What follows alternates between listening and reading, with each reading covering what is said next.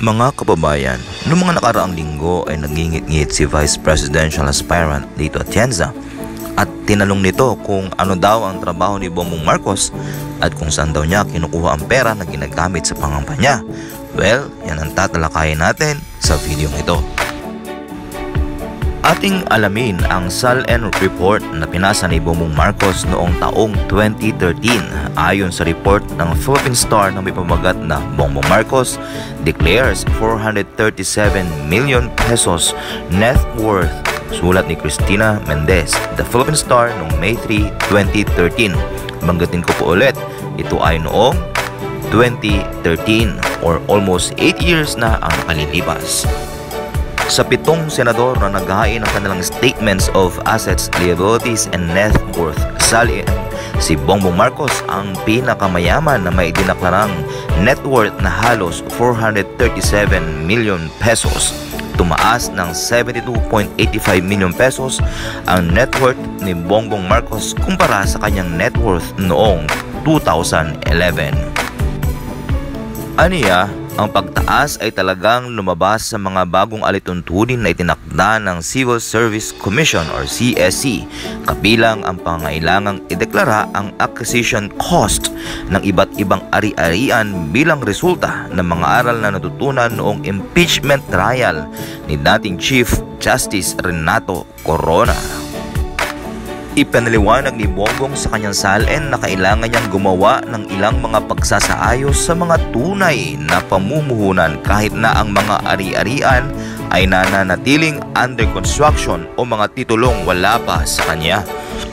Tama sa mga ari-arian ni Bongbong ang mga real property na umabot ng 303.5 million pesos, 10 milyong cash on hand at cash on bank, siyam na sasakyan na nagkakahalaga ng 16 million pesos, alahas na nagkakahalaga ng 15 million pesos, paintings na 16 million pesos, shares of stock sa 20 million pesos. At investment sa condominium unit sa Wakwak sa Mandaluyong at iba pang unit sa Ayala, Makati na tinatayang nasa 85.6 million pesos.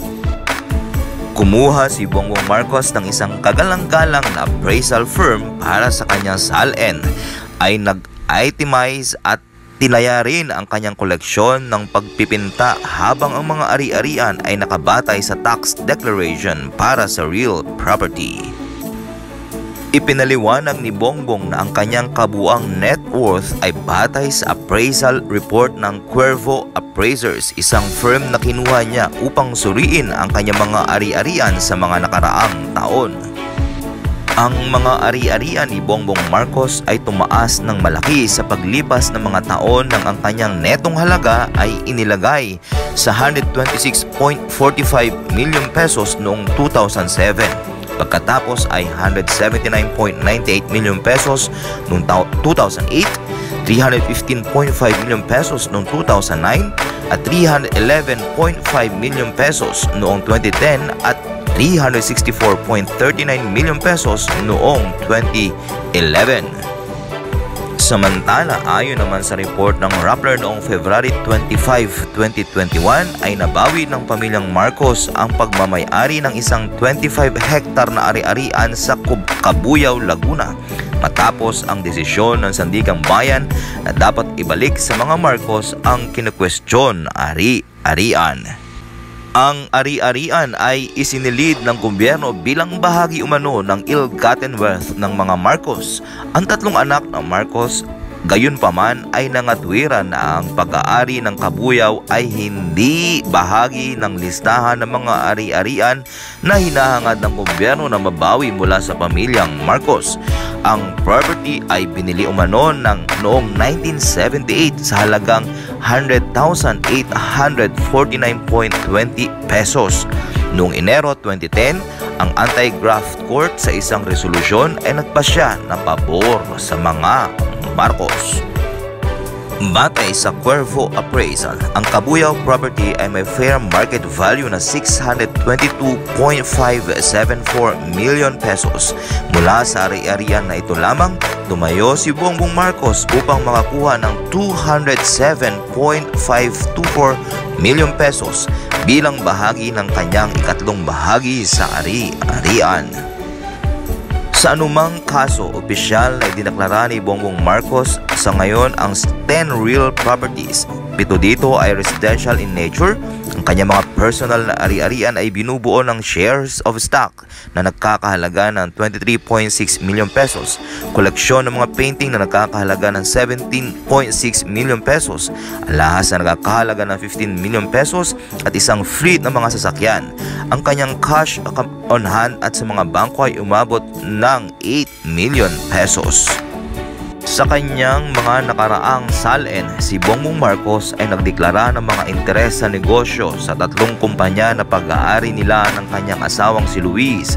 Ito ay ang Augustus Management Incorporated, Belvedere Manpower Incorporated, at NIV Property Holding Incorporated. Lahat ng tatlong kumpanya ay naitayo noong 2002. Ang pang-apat, ang law firm na Most Marcos Ochoa Serapio Tan kung saan ang kanyang asawa isang founding partner ay idinagdag noong 2010. Mga kababayan, hanggat may masisilip silang mali kay Bongbong Marcos ay sisilipin nila. Pag-file ni Bongbong Marcos ng kanyang tamang salen ay masasamain pa. May mga negosyo si Bongbong Marcos at may mga properties na pag-aari din nila ayon sa nabanggit sa itaas. Hindi naman lingid sa ating lahat na talagang mayaman na ang mga Marcos at hindi nakapagtataka kung bakit may pera sila. Ang nakapagtataka ay yung mga public officials na hindi nagdedeklara ng tamang salin. Bongbong Marcos learned his lessons from Chief Justice Corona's case kaya nagdeclare siya ng tamang salin para sumunod sa itinakda ng batas. Nagtataka ang mga kalaban ni Bongbong kung saan daw niya nakuha ang mga pera na na-declare sa salen niya. Ngunit nung in-explain niya kung saan nakuha, aba, hindi pa din naniniwala eh saan lulugar sa inyo si BBM. Well, it is up to the Filipinos to decide pero kung sisilipin natin ang numero, mukhang outnumbered na ang mga taong pinipilit na pasamain ang mga Marcos dahil marami na ang unti-unting naliliwanagan lalo na nga ang mga millennials at Gen Z. The truth shall always prevail.